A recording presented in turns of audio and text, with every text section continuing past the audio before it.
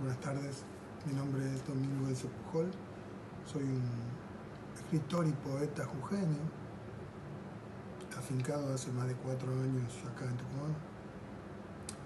Y hace más de cuatro años que participo eh, en el proyecto de Mariela, acompañándola y aportando desde, desde mi conocimiento en la parte literaria. Eh, y la verdad tengo que decir que durante estos años de acompañarla eh, ha sido un paseo. Un paseo por la vida de tantas personas, un paseo por la vida misma de cada uno, porque uno no, no, es ajeno a la magia que propone a encontrarnos en el arte.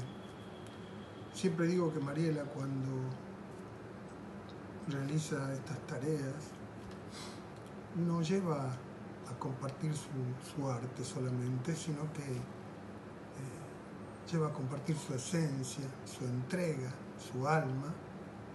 Y, y como yo la veo, Mariela es como un aguador, como un sembrador en el surco, porque a donde va deja su semilla, la semilla de la esperanza, de la esperanza que se puede, de la esperanza que